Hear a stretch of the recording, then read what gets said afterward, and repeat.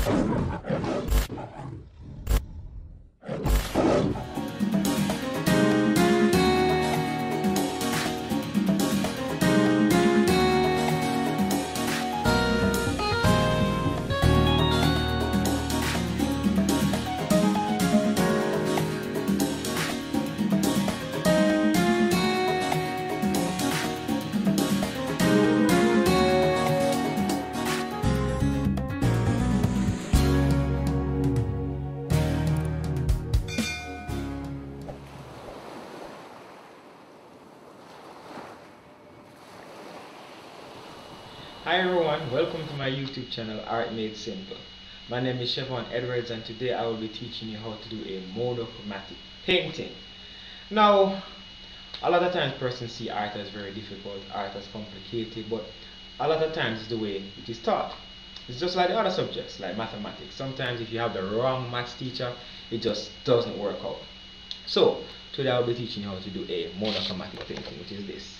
Alright? So, a monochromatic painting is simply a painting that is done using one color. Now, while you see black and white in this painting, I want you to pay attention. Black and white are not colors. They are tints and shades. Alright? So, the color that is actually in this painting is blue. We just have different shades of blue. Alright? So, in order to do this exercise, we're going to need the following items we're going to need three different sizes of brushes. If you're a professional or if you've painted before you can manipulate one brush to do the same exercise. But I recommend using three different brushes a small one medium and a large brush. Alright that should take you right through the exercise. In addition to the brushes you're going to need three paints white black and blue. Alright other than that you're going to need your water container your protective clothing, your palette of course. If you don't have a palette, you can always use a plate. I mean, my mom used to argue with me a lot of times about using the plates from the kitchen. So you can use your mom's plate, but don't tell her that I told you to do it.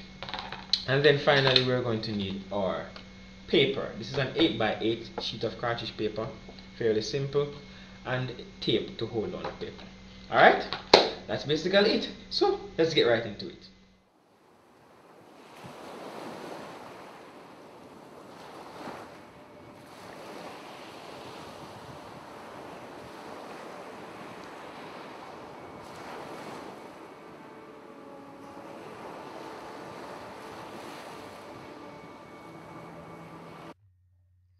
Okay, so the first step is to do the horizon line. You do the horizon line by simply adding blue to white and getting a light tone and running it horizontally across the paper.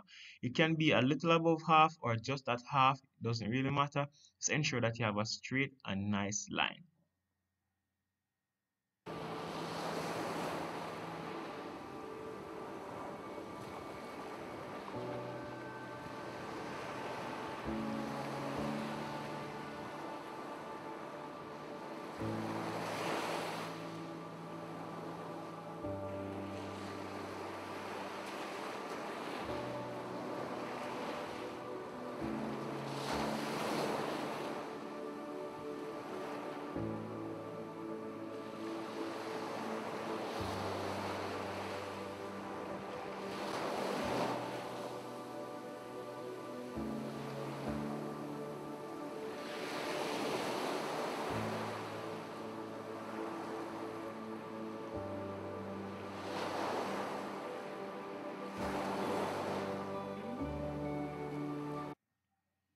Okay, for this section, you might notice I'm moving really quickly. That's because acrylic dries really fast. And in order to get a smooth gradient with the paint, we have to move quickly. Now, adding water to the paint helps to get it smooth. But because we're using paper, we don't want it to move to be too moist. Because that will cause the paper to start crumpling and you don't want that to happen. So, what I'm basically doing is transitioning from white to blue. And that will give you the nice gradient for the sky. So the horizon line should be the lightest, moving upwards to go darker into the blue. All right, let's continue.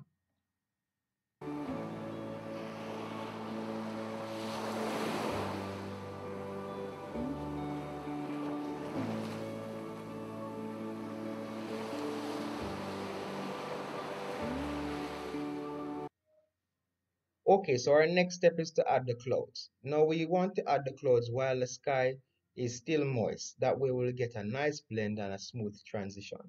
We don't want a flat white for our clouds. We want there to be some variations and some gradients in the clouds as well. So we can use any brush for this. I'm currently using a fan brush, but I will soon switch to a flat brush to get a different effect. All right, so let's go.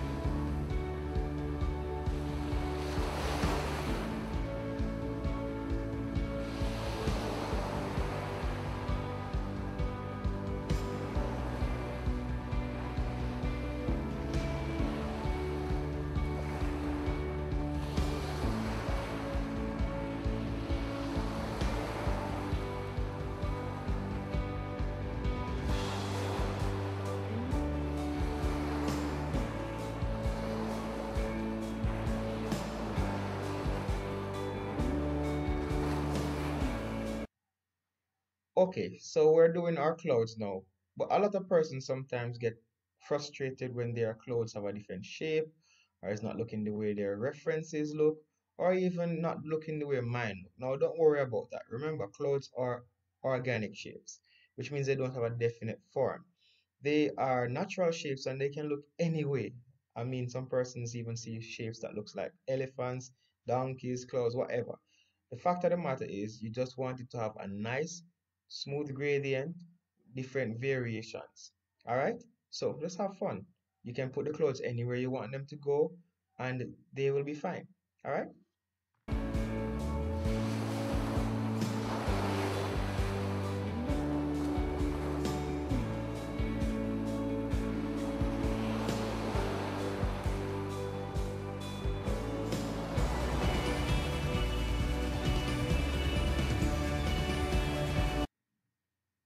Now the next step is to add our sun.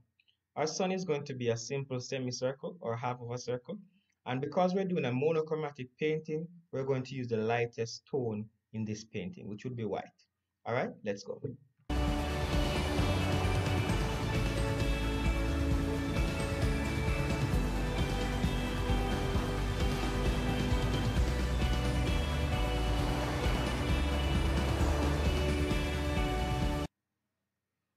Once you've added the sun, it's time to move into the water.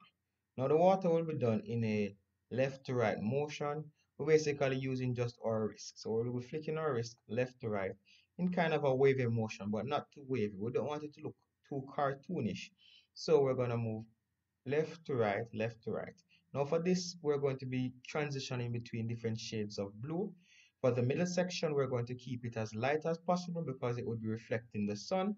So we're going to keep the darker tones on the outside. All right, let's go.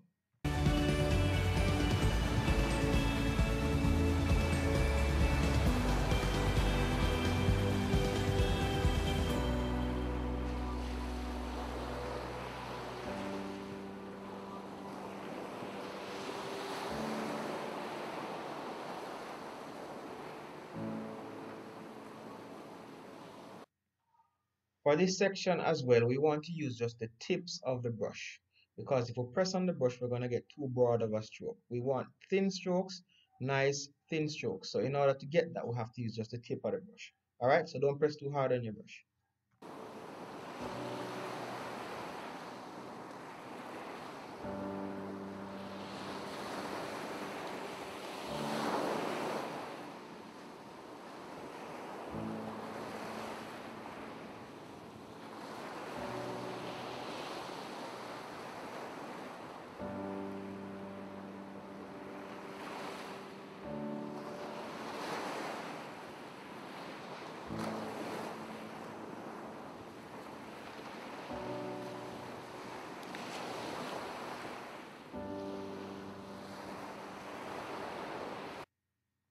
Now, before we complete our water, we're going to add the landmass. Now, this is just so we know where to stop for the waves and how to add our details to the water.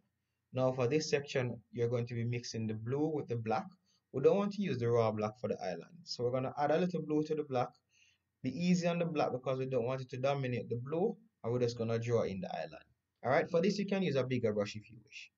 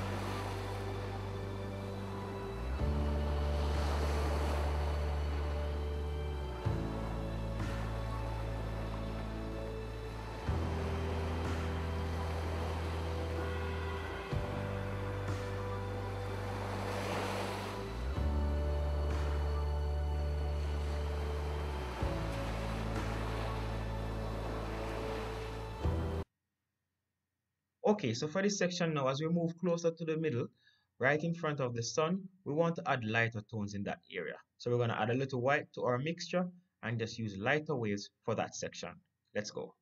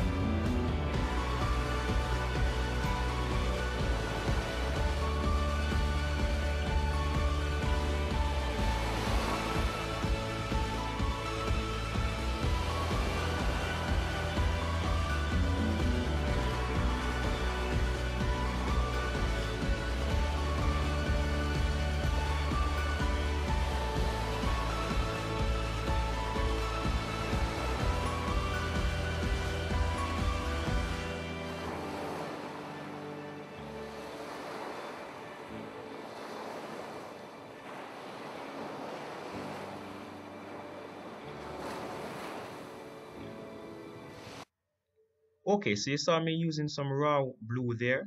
That was just to create some more contrast between the highlighted section of the water and the darker sections of the water. Alright, so next thing we're going to do, we're going to move to the sun. We're going to be using raw white for the sun just to add some emphasis and create more contrast between the sun and the other elements in the picture. We're also going to be using white on the clouds to ensure that we have the same reflection of the sun on the clouds. Alright, let's go.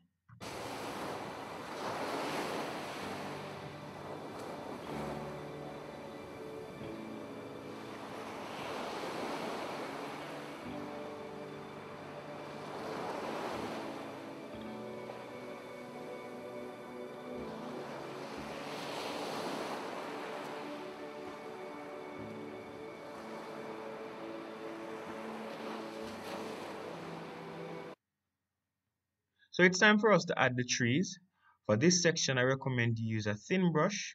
If you don't have a thin brush, what you can do, you can turn your flat brush vertically and just use the tip of that brush. Alright, so we're going to start drawing our trees now. Need to use just the tips of the brush. Be careful with it. Try to make the black paint as watery as possible and you will get smoother lines and easier. It's easier to handle the brush that way.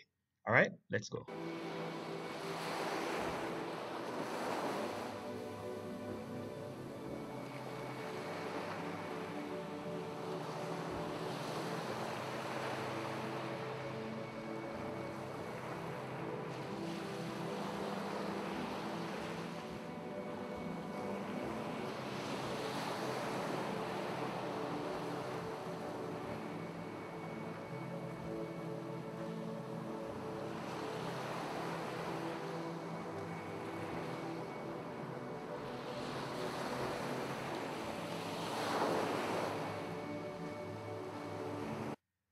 For this next step, it's very critical that you have your paint as watery as possible. That is your black paint. Because what we're going to be doing now, we're going to be drawing the branches and adding the leaves for the coconut tree. It can be tricky if your paint is too watery or if you have too much paint in the brush. For this section, we just want to use the tips, use the smallest brush in your pack, and let's get this done. Alright, let's go.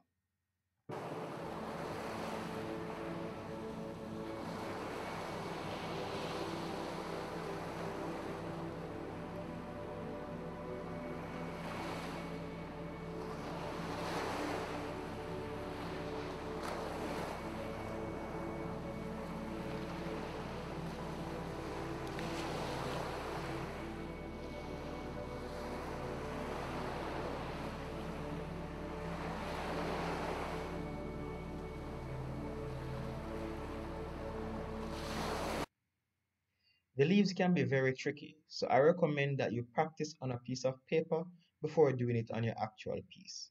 Another piece of paper can do you well, helping you understand the technique and get the hang of the brush before you do it on the real thing. Alright, so doesn't hurt to practice. Let's continue.